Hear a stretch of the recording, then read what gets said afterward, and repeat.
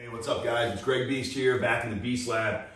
We've been noticing uh, some issues footwork wise for guys that are trying to figure out exactly what to do on the whistle and how to be more explosive both in and out of their motion. So, what we've noticed is obviously we've talked about before. There's a couple things that can slow you up on the whistle. One is where you displace your weight in your stance. So, what we want to do is get towards the right leg, make sure we're leaning in, get to that 99% spot.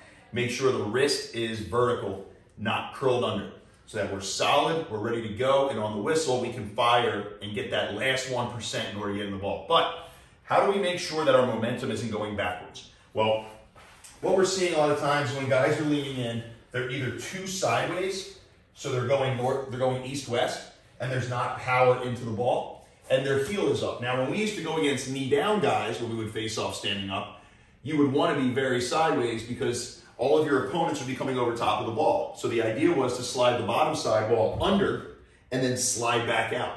However, because everybody is now standing up, you don't have that advantage to just slide in and slide out. You need power going north-south. So now we're going to get more of a 45 degree angle stance, ball pointing directly at, uh, toe pointing directly at the ball. We're going to lean into that 99%. Now, I'm recommending guys keep their left foot flat now instead of that heel up. Reason being is every single person that has their heel up seems to be doing this on the whistle. So they're pushing their heel into the ground on a heel stomp rather than doing the opposite, which is driving off of that toe. So what we do is we get the foot flat on the ground. Now you're on your 45 degree angle. We're at our 99%. And now what we want to do is we want to teach ourselves not to kick back.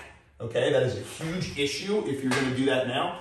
We want to get rid of all that. So the Guys who are really accelerating in their talent level right now and getting better at this are the ones that aren't kicking their feet back. Instead, they're distributing their weight correctly so that they can explode out. Okay, so what we're gonna do is we're gonna train that. The, reason, the way we're gonna do that is we're gonna put the rep strap on, make sure the attachment's here. If you don't have a rep strap, go to foareps.com.